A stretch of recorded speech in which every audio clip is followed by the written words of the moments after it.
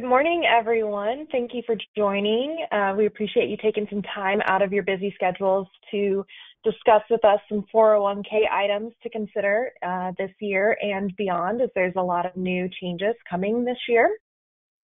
Um, so first off, just wanted to also thank you all for joining um, Dominion Payroll and their Client Appreciation Week.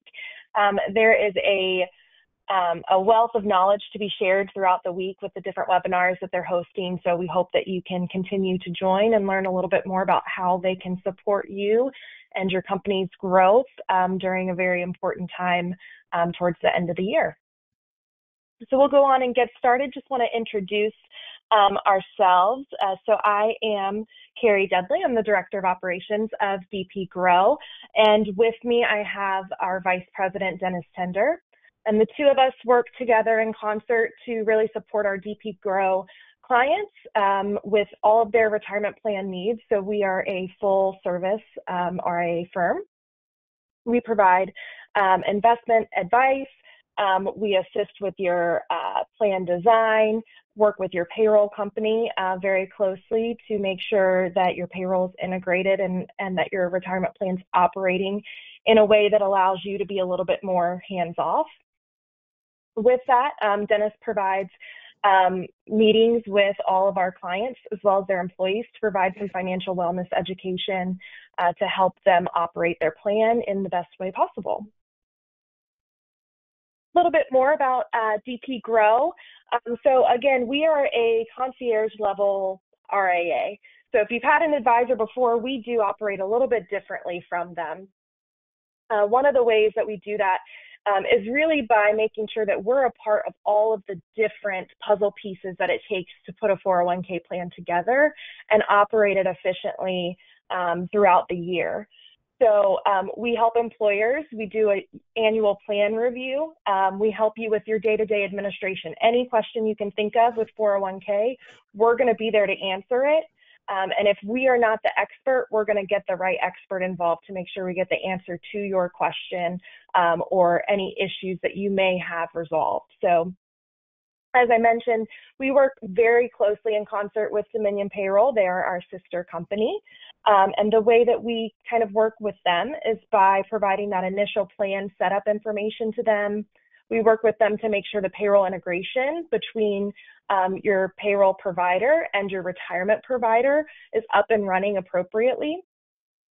And any reporting requests that you have along the year, um, any compliance items that you need our help with, um, where we can pull payroll data on your behalf to kind of take that workload off of you, um, we handle that for our clients on your behalf. Additionally, we work with your plan providers, so any type of service request that may come up uh, where you need to reach out to your record keeper, your plan provider. We will work with them and kind of handle those tasks for you um, and also work with your employees if they have any items that they need help with uh, at your plan provider level. Um, additionally, the biggest um, kind of resource that we provide to our clients is education. And it's education for you as the employer who is running this plan day in and day out. But also, very importantly, education for your employees. When you're offering a retirement plan, it's an, an incredible benefit to provide to your employees but we want to make sure that they're educated on how they can utilize that plan um, to not only set the, themselves up for success, but then to also make sure that um, the plan that you've set in place for them is being property, properly utilized. So again, we do provide one-on-one investment advice and um, you know consulting with Dennis, um, as well as group financial education, um, which could be as simple as introducing your plan to your team and making sure they're aware of it. Um, but then, then also getting really granular um, with any financial wellness topics that you want to cover. Um, you know, why should you save for retirement? How much should you be saving? What other options um, are there that you need to consider in terms of being a financially fit individual in order to kind of prepare yourself um, for retirement? So we really kind of do it all, and we like to take all of the heavy lifting off of your plate as best as we can, um, and just kind of guide you and be that traffic conductor uh, with the many moving parts that are in a retirement plan. Um, we're happy to answer questions at the end of this presentation. Um, if you have questions about how our services um, could potentially help you and your company out, um, as well as any questions that you may have as we cover some of these topics about what's changing in the retirement plan world. Um, there's changes that are happening right now, changes happening next year, um, and we're here to kind of assist you and answer any questions you might have along the way. Um, if for some reason we're not able to get to your question during the call, um, I will make sure that we follow up with you personally uh, to get you an answer um, and cover whatever topics you do have questions on. So without further ado, I'll go on and introduce Dennis Tender and let him kind of get started and go over the agenda for the rest of the call. Great, thank you, Carrie.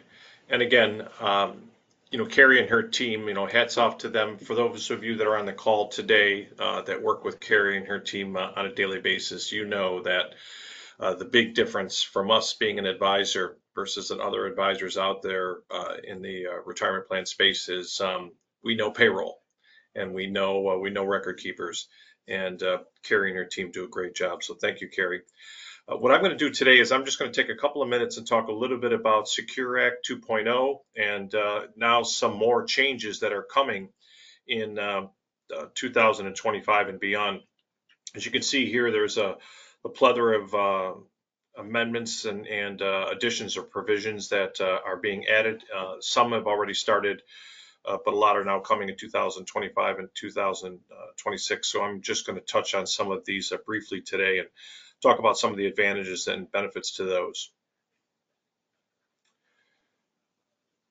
I'll let you go. There we go. Um, so just to reiterate, you know, if you remember, it's been a while, right? Secure Act 2.0 uh, became law or was signed into law at the end of 2022. And, you know, really the big reason why this initiative came around, and there was a lot of collaboration in the uh, in the House, both uh, sides of the aisle, to put this bill together because at the end of the day, we're just not saving enough money for retirement uh, in, as Americans. And so it's really becoming a crisis as our uh, population continues to age, right? We've got 78 million baby boomers out there and beyond.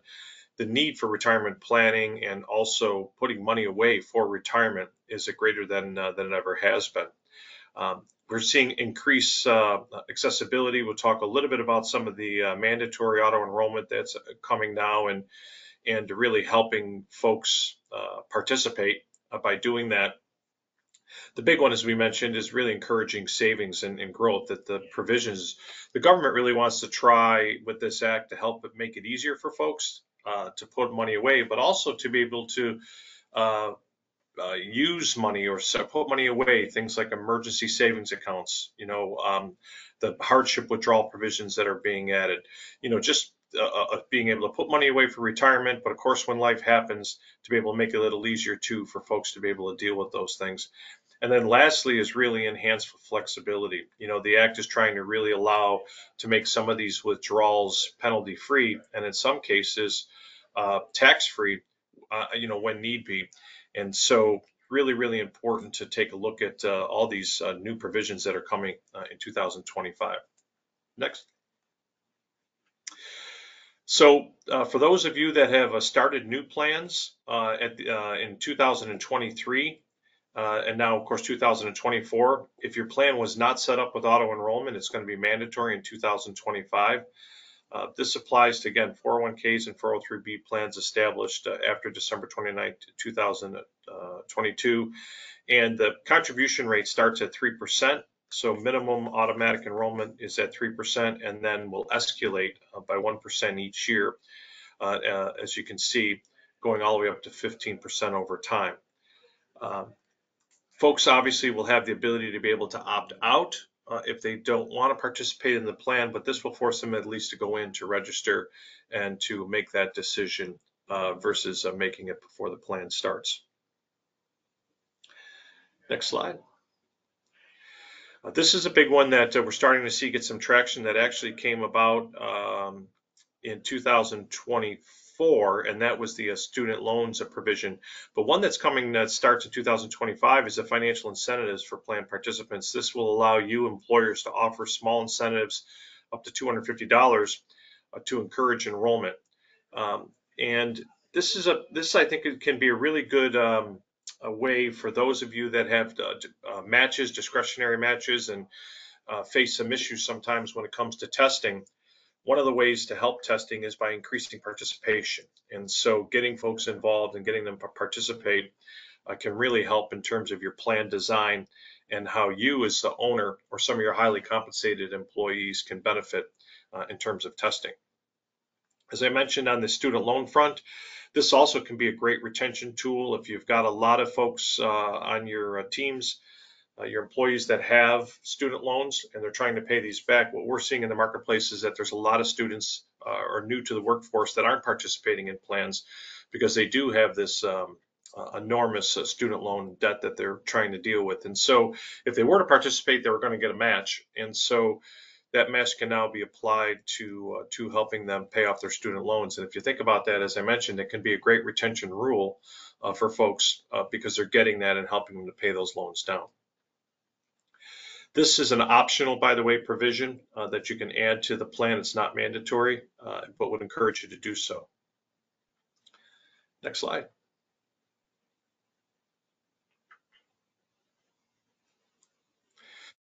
Um, in addition, in 2025 uh, is going to be the uh, new emergency savings accounts. Um, this this will happen. Uh, automatic enrollment for non-highly uh, compensated employees. They're going to be able to put away up to three percent of their pay to a maximum balance of $2,500. After which contributions will stop. Uh, they will convert to Roth, uh, and they're allowed. First four withdrawals are going to be fee free. So the um, record keepers uh, that you have or are using will have this set up in their system. There'll be no fees associated with uh, any withdrawals, and they'll be able to withdraw up to four times per, uh, per year. Um, again, I believe that this act, uh, we're waiting for some clarity on it, will allow for more than four withdrawals, but it's just four that are going to be uh, uh, penalty free. We're also going to see uh, emergency withdrawals uh, without penalty. This is where folks are going to be able to take up uh, or take out $1,000 without any uh, penalty. They've got to repay it back over a three-year period. And this is for, you know, again, uh, any uh, reason at all. As I walk through some of these changes, these new provisions that are added in 25 and beyond, a big change that we're seeing is that these a lot of these are self-certifying. You may remember in the past that you as the plan sponsor and or your record keeper or third-party administrator would be the one to certify that the withdrawal provision uh, was being used correctly. Now these will be self-certified. And I'll talk a little bit about that in a moment uh, as a best practice we think will be good for you in terms of allow folks to be able to do that. But this emergency withdrawal without uh, penalty, uh, again, is an optional provision and uh, will start in 2025. Uh, next one I have here is a penalty-free withdrawals for uh, anybody uh, in a federally declared disaster area. As we know, it was a rough year for the country um, and continues to be so now, particularly out west and we're even seeing in the Northeast in terms of uh, fires uh, with the, the drought that's upon us. If an area in the country has been designated a federally declared disaster area, folks can withdraw up to $22,000 penalty-free.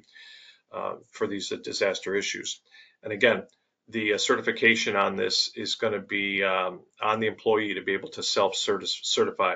But we recommend that you want to have some policy in place, uh, some documentation. You know, really uh, make sure that you, you know you develop some type of uh, form that they can fill out, something that you can have you keep on a record to have the client sign that they attest to it, and to keep this because again, they're self-attesting on some of these. Next, you're going to see under the domestic abuse withdrawal, this is a new option up to $10,000 uh, for anybody who is uh, a victim or a survivor of domestic uh, abuse.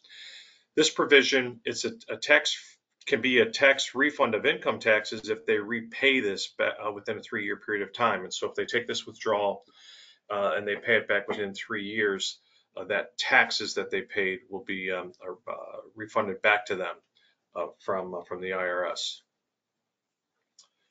Next slide.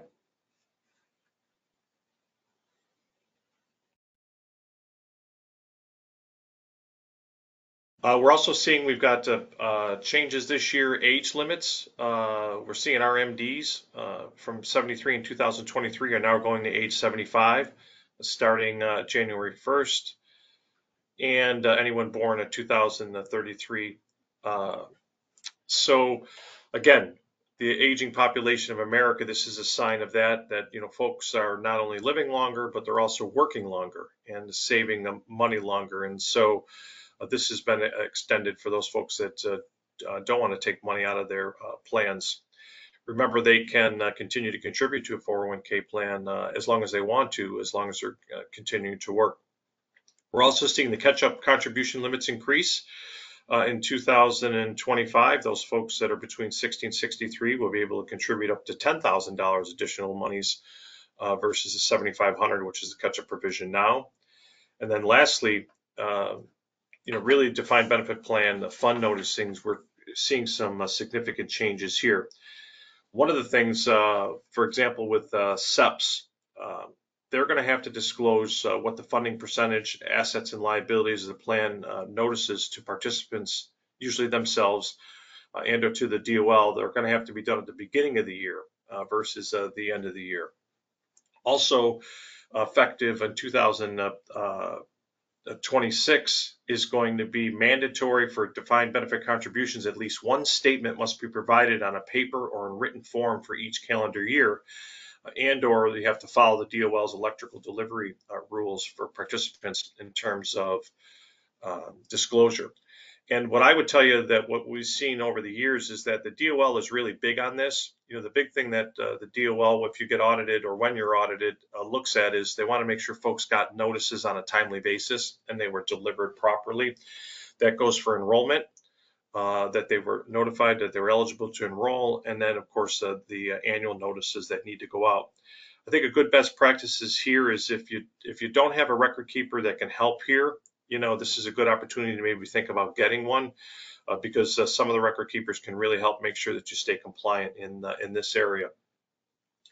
Um, and getting some good guidance. You know, what I always say to folks is that, you know, good piece of advice uh, or even intervention sometime can be worth 10 years of fees. All these uh, provisions that we talked about today and these additions, I think are all very beneficial and make your uh, employer sponsored plan uh, much more robust on behalf of your employees. All these provisions have to be in the plan uh, or amended by the end of 2026. You know, the big takeaway here is, I think, um, take a look at these provisions, see which ones make sense for you and your business to be able to add them. This is a great time to be able to, to do that. Great opportunity to re-engage with your employees. If you haven't benchmarked your plan in a while, I would encourage you to do so. We would be happy to do that for you as well, no pressure. If you want us to take a look at your current plan, we can talk about your current demographic and what maybe has changed in your business, particularly since COVID, uh, if, uh, if so, and then we can uh, help you. Lastly, I wanted to mention that for part-time employees, uh, those that are now uh, part-time for two years, uh, 500 hours or more versus three, are going to um, and will be eligible to participate in in these plans. Where this is going to start to become sticky again is going to be with auto enrollment, right? So when these folks are eligible, they're going to be auto auto automatically enrolled, and so uh, Dominion Payroll and iSolve again, great payroll system that integrates with a record keeper. So having the right record keeper can really help here and kind of take that off your plate to make sure that that's done properly. With that, I think we're going to maybe open it up for some questions.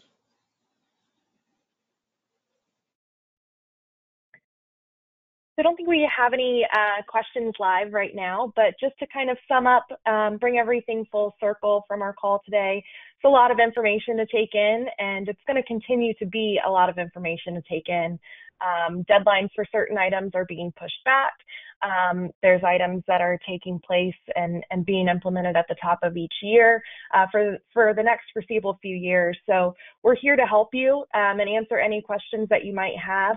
Um, please don't hesitate to reach out to us um, and uh, let us know what questions and what we can help you with.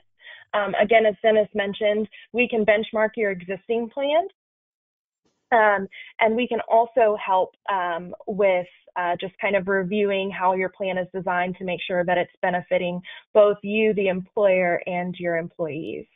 Um, and then I will send out this presentation at the end of the call as well.